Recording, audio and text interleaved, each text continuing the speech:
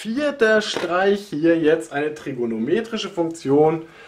Bestimmen Sie die Tangente sowie die Normale an den Graphen von f von x gleich 3 mal Sinus von 2x plus 4 an der Stelle x0 gleich 2. Gut, wir haben die Funktion f von x, wir haben x0 gleich 2, wir können f' von x bestimmen.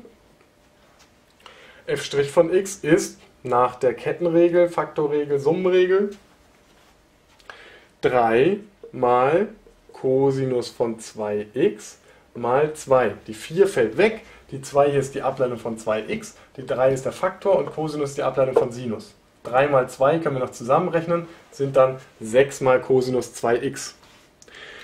Dann haben wir die Möglichkeit f von 2 zu bestimmen. x0 gleich 2 ist für diese Serie ja gleich. f von 2 ist, wenn wir das in den Taschenrechner eingeben, 1,73. Und hier ist f' von 2, wenn man das in den Taschenrechner eingibt, minus 3,92.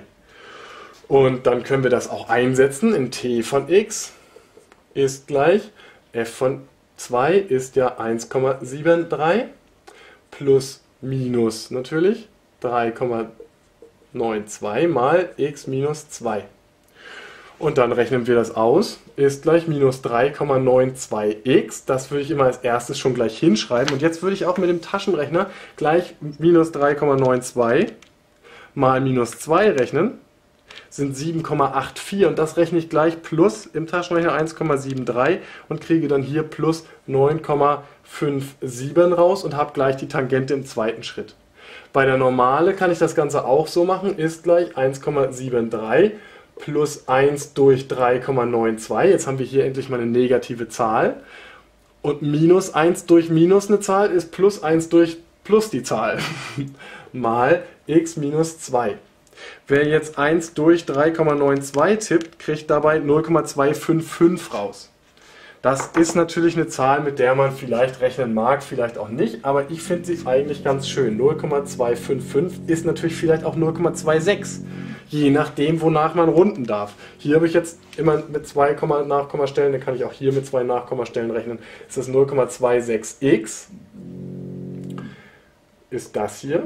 Und auch hier wieder 0,26 mal minus 2 sind minus 0,25 und dann kann ich da gleich plus 1,73 rechnen, kriege ich plus 1,21 raus. Kann mich freuen, dass ich auf schnelle Art und Weise normale und Tangente von dieser Funktion an dieser Stelle berechnet habe und kann dann auch lustig den Schild zeigen. Das ist natürlich in der Klausur auch schön. Halt das Schild hoch!